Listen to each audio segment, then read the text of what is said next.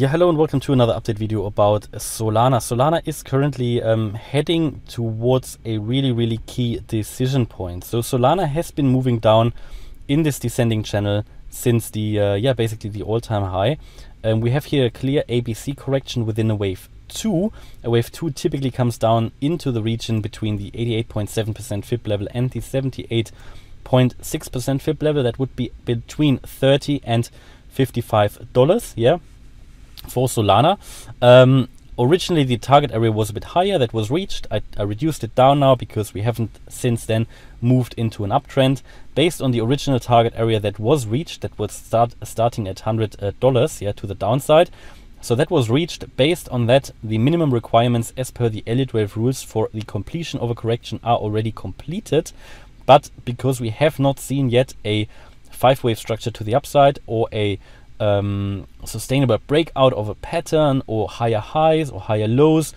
I just have to assume that we are still in a downtrend and therefore I do expect us to reach this green target area down here, which is located between this 88.7% FIB level and the 78.6% FIB level. But let's take a look at the more imminent um, price moves. So we had here on the chart this purple um, zone, which is my support zone here that is ranging between $84 and um, yeah, $75, yeah.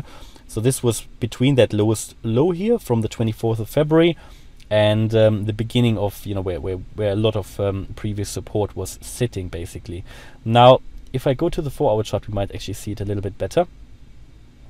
We can see how the price actually broke into that um, support zone, yeah, and uh, tried to retest it from below. You know, that was a support level here at 84 $85 and uh, failed. So oh, actually it was a successful retest. So it broke down even further. Here came down all the way to $80.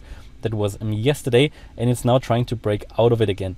Um, what I really want to emphasize here in this video is that um, Solana is really heading into here a key a key um, moment or decision point yeah because what you can see here we are in this support zone and there is not much more space. Solana has pretty much started to move or moved sideways since the 24th of January. Yes, there was a bit of up and down, but it pretty much did hold this support zone. And there is only limited sideways movement possible until we approach this channel again. So we've got this descending channel here, which has been holding Solana down, well, since uh, the all-time high, basically. So since the middle of, um, no, since uh, yeah, November, end of uh, end of last year and it has been moving down since then. And now we're approaching this resistance level yeah? So there is only limited uh, sideways potential left.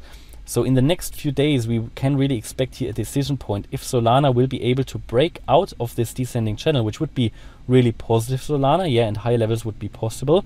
But for that also Solana would need to break above this 50 day moving average that is coming here. So again it tried that before on the 2nd of March and failed at $105 as the 50-day moving average did uh, or was not broken. All right, so that is very important. And also, what is coming up here at the moment is not very convincing, even though Solana moved up from 80 to 84 dollars. But that is really just the day-to-day volatility. Really, nothing too exciting, especially as on the four-hour chart, the stochastic RSI is already overbought, um, so it's pretty much exhausted already. Um, what I really want to what to, what to emphasize here is yeah this this key key point here that if we just moved sideways from here at the 11th of March, we would need a decision point, yeah? And um, at the moment, we cannot see anything really convincing here on the Solana chart. Yeah, there is not really any major bullish momentum that would suggest we are going to break here to the upside. We would need some volume. Yeah, you would want to break out of here a retest and with a uh, volume confirmed breakout to really be confident that we can also hold above this descending channel. Yeah, that would be a good sign. That would be a bullish sign. Until that breakout happens, I have to assume that we come lower. For me, at the moment, the next support level would be at 75 US dollars. And there is some temporary upside together with a Bitcoin today. But at the moment, as I said, we are making here lower highs. You can see that actually. Um, and uh, yeah, just sideways consolidation really. So there is not really any major um, upside potential here visible, at least at the moment. Until things change, I have to assume that we come down lower. Um, if I go on the one day chart, just to take a look at the very relevant indicators here. You can see that, yeah, the RSI below 50, so bearish momentum. It pretty much has been in this range since November 21.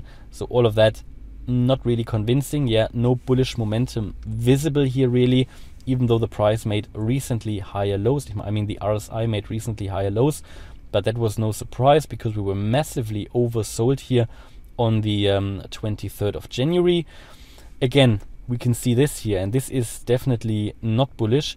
Um, the MACD is creating another bearish crossover here just today. I think we talked about this could be upcoming in the last few videos.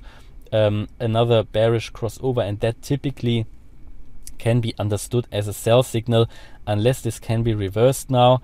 Um, it's only today, so we would need a daily candle to close like that and leave it. Otherwise, it can obviously change during the day again. Um, but here the stochastic RSI still had, has further room to the downside, so it could really play out like that, that you get a bearish crossover here, and then we could expect for the next few days, maybe a couple of weeks, some more downside for Solana. Um, and here on the one hour chart, maybe just to get more of an idea of the more imminent price movements, let's take a look here. Um, here you can see that we are really trying to break out of this um, support zone now. So maybe we're just retesting it as a resistance now. You can see that the RSI here is actually moving higher in the bullish range, but it's only the one hour chart, so don't pay too much attention to it. We also have a bullish um, MACD crossover here that happened yesterday late. Um, the stochastic RSI is already overbought. So at some point here, you're already losing buying momentum here on the MACD. So you could already turn around again. And uh, together with that MACD bearish crossover on the daily, that could also lead to lower prices. And uh, yeah, don't forget we are uh, don't forget we're approaching here a very very important resistance level with that descending channel. And uh, that will be very interesting in the next few days. I will definitely keep you updated. You won't miss anything here on this channel. If you keep uh, subscribed and keep uh, waiting for these videos, you won't miss anything. As you can see here, the EMA ribbon also still bearish. I mean, the EMA ribbon will be providing additional resistance here on the four hour chart, yeah um, before we can only think about breaking through that descending channel um, resistance level. And if we take a look on the 8 hour chart as well, the 8 hour EMA ribbon is also running exactly there. So yeah, the price is even below the EMA ribbon on various time frames. So there is a lot for Solana to do in order to get back into bullish momentum. At the moment, I cannot see it yet. So that's my view here on Solana. Hopefully the update was useful. Hope you liked it. If you did, please smash the like button and subscribe and also leave a comment for the algorithm. And if you really like the content, then maybe check out the channel membership where you can get access to the Discord server with a lot of additional content, my own buy and sell orders, uh, 2022 outlooks, and so on. The Telegram live chat and a weekly live stream as well. Thanks a lot for watching. Bye bye.